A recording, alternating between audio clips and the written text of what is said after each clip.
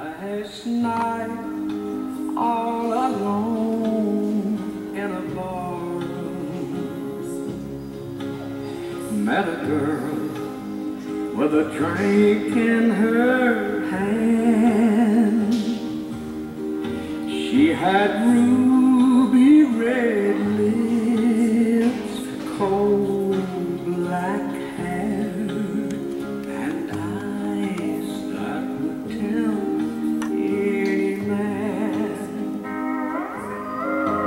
Then she came and sat down at my table,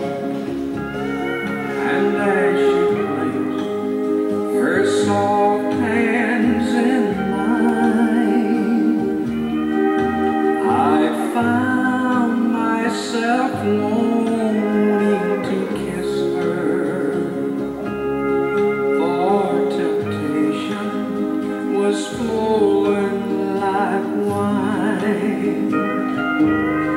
and I was almost persuaded to strip myself of my